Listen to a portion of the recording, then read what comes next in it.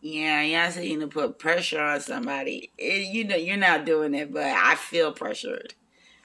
So coming on here, uh, the reason this is the the background setting is that is because I don't plan to work. You know, stress myself out. I rather a more relaxed. It's a way of telling you not to take me too seriously and just relax and take it easy in life anyway, um, my skits my craze, what I was talking about, is for the individual to reflect on themselves. It's for a society to reflect on themselves. It's for a nation or whatever structure of government you have to reflect on themselves and whatever race you are. But I was for and still uh, very loyal to my color. It seems like although you know I love my mother and father, they they seem to resemble one race. And my sisters and I came out, you know, red. And um you know, I feel for them because my life has been, you know, um, I related to them. So, um, so I do have a bias. I have, I am biased as far as that is concerned.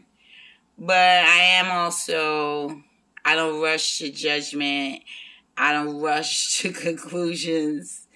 You know, I don't say this group of people is all bad and this group of people did all this. You know, the, in logic, in mathematics, there's no such thing as all or nothing.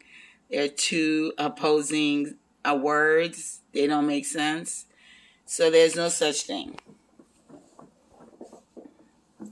Um, you know, I hope my um, page uh, I know I said a lot of names and I mentioned a lot of people, but I used my um, my foundation, my nucleus as attack because you know it's not attack is as if to reflect upon the individual so that the individual knows whether whatever color you may be, that your state of mind, your way of thinking, your opinions, the way you see life is based on where you come from.